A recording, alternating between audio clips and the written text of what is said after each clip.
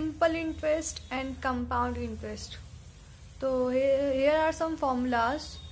We can find simple interest and compound interest with that. So let's begin. First, SI that is simple interest equals to P into R into T divided by 100 where P is principal. R is rate. Percent per annum. And T is number of years. So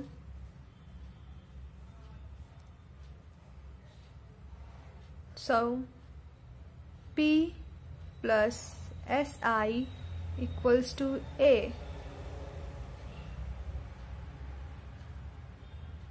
SI equals to A minus P. here are some cases.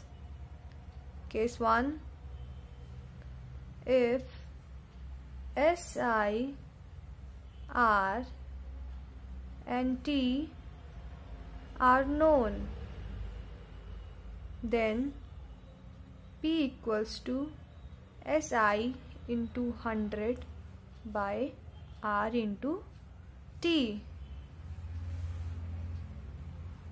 Case 2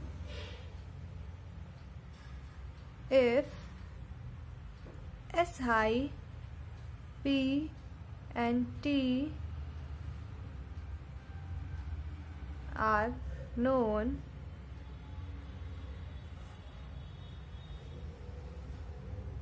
then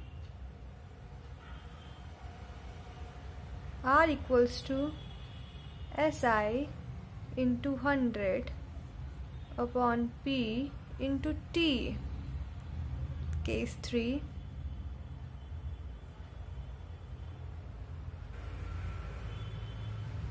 when SI P R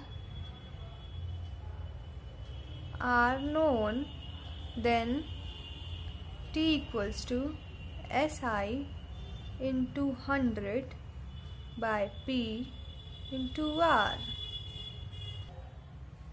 So here when SI changes added to principal that is P it changes amount. That is A.